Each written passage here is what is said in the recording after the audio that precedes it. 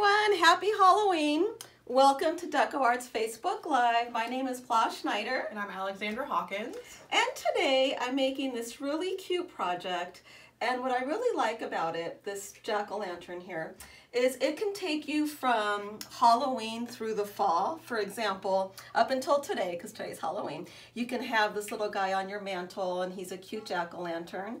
And then come tomorrow, just flip it over and you have a super cute pumpkin. So I'm gonna walk you through the process. Uh, yes, so sorry, real quick, I wanted to let everybody know we are doing a $100 online store credit today. We are giving it away during the Facebook Live. So while you are watching, comment, let us know where you're tuning in from. Um, and yeah, hope you guys are the winner. Good luck, everyone. So yeah, stay tuned. So the first thing I did is base coated this globe with my favorite metallic paint. This has the highest sheen out of um, all of the metallics that we have. It's extreme sheen. This one is copper. So I already base coated this with copper and it's dry. The next step is to take the same product, Extreme Sheen, this time in rose gold, and I'm just adding highlights uh, vertically all the way across so you can get that uh, you know, pumpkin look and some dimension here, a little bit of highlight.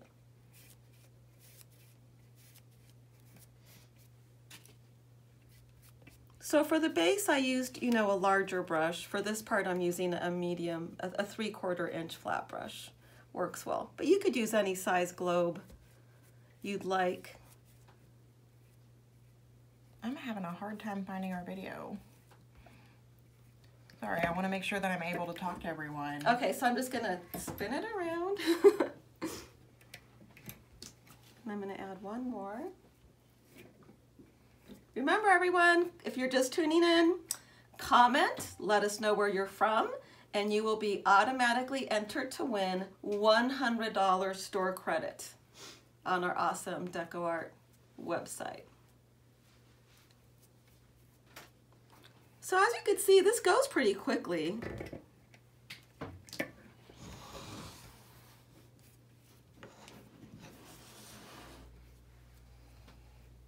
So earlier today I was called a cat. In case you're wondering, I'm actually a bear.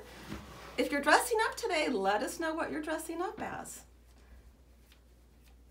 There we go. Yay! Hi everyone. Yay, we're back. Sorry about that. Hi, Jill. Good morning. Hello from North Carolina. Thank you for tuning in. Lori Hubank says she loves that color. Thank it is you. really pretty. Happy Halloween, everyone.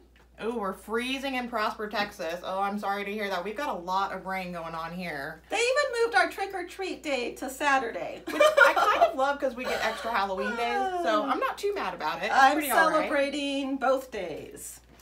Okay, so Alex has a project that she's gonna show you. I'm just gonna keep going all the way around. Yeah, so I'm gonna talk about um, a fall to, or sorry, Halloween to fall reversible sign. So I'm gonna talk about our clear chalkboard coating.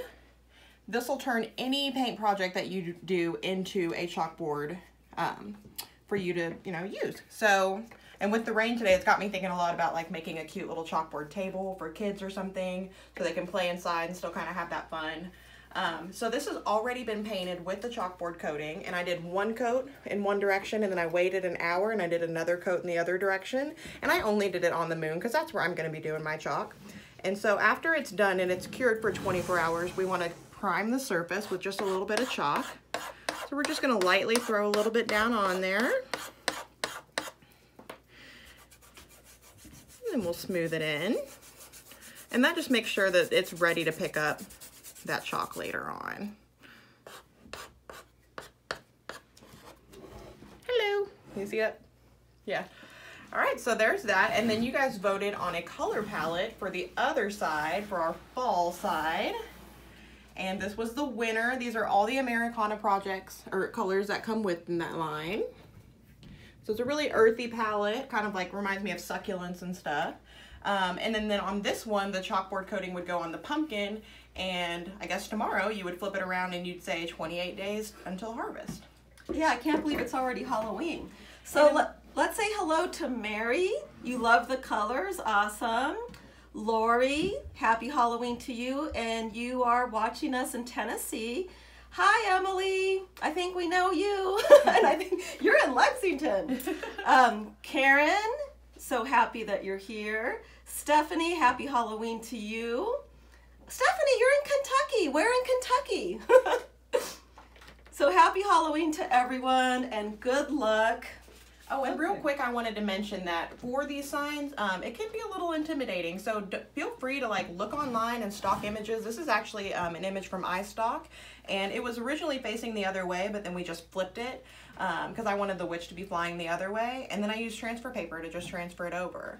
And I did the same with the pumpkins and the leaves. I just did generic pumpkin and leaf shapes, and then so you can use that as your outline, and then you can go back in and add your little details to your leaves and stuff like that.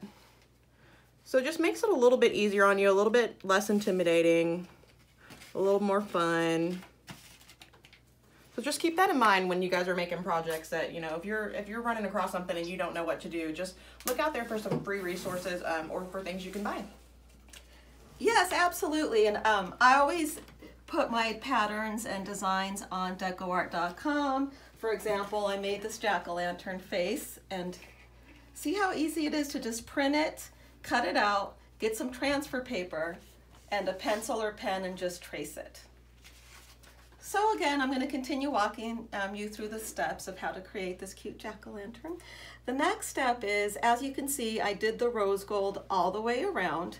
Now I'm taking Extreme Sheen again in this beautiful peridot color. And this is my favorite color in Extreme Sheen. It is a really pretty color. I think that's one of our new colors, or is that an older one? It is a newer color and it happens to be um, my birthstone. I, I just love green. But as you can see, the contrast between the copper and the rose gold with the green is super, super pretty. And I'm not gonna go for a complete solid coverage here because I want some of the metal to show through and for it to look, you know, just a little bit distressed.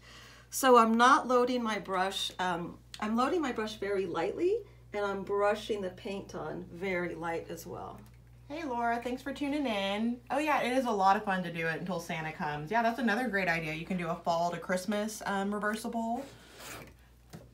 And we may have something like that coming your way, so stay tuned for that. Absolutely. How fun is it to have one project that can take you from, you know, one holiday to the next? Yeah, I feel like the holidays come around so quickly that you only, you know you get to stick it out for like maybe a week and then it's just gone.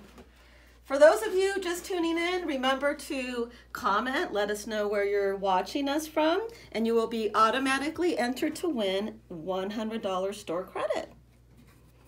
So you can pick up some of these DecoArt products that you're seeing here, like this Extreme Sheen, or it's a great way to start your DecoArt paint collection, that's for sure. Laura, you said you've got a globe that needs some help. I'm so curious to see what it is that you're needing. Maybe this Duraclear could be a solution for you.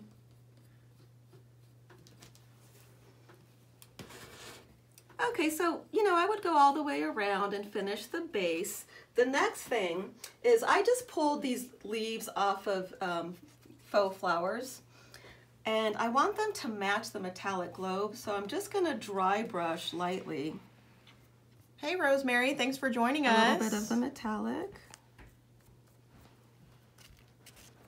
So now, you know, they actually match the jack-o'-lantern. I'll do one more. Hey Miranda from Ohio, thanks for tuning in. Happy Halloween. So if this were dry, of course, like I said, I would get the pattern and transfer it with um, transfer paper and then paint it in black and white Americana. Our friend Noreen wants to know where you found the globe. Amazon. Amazon. And Amazon has a variety of sizes.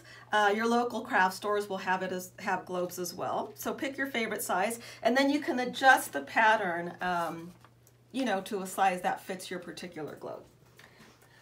So the last step would be to glue the leaves to the the top part of the base. That makes it look, you know, more like a pumpkin.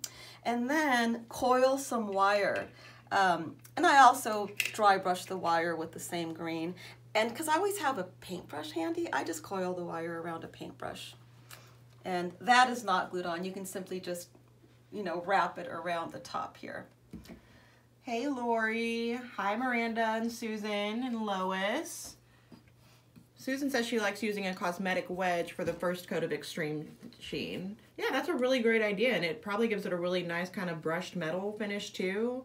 Um, I love that there are so many different ways to apply that product to make it look just different. Hey, Kathy. Thanks for tuning in. And Jill, hi. Oh, they're wondering how the globe would look as an ornament. That's a really fun idea. Oh, to get a smaller one and make Yeah. it that that's really cool. Yeah. A lot of people are doing Halloween Christmas trees. We're Halloween trees, I should say. So giant black trees, and then they're decorating with orange and purple and lavender ornaments, which is really cute. Yeah. Well, awesome. I think we have a winner chosen. Blah, do you want to let us know? We do.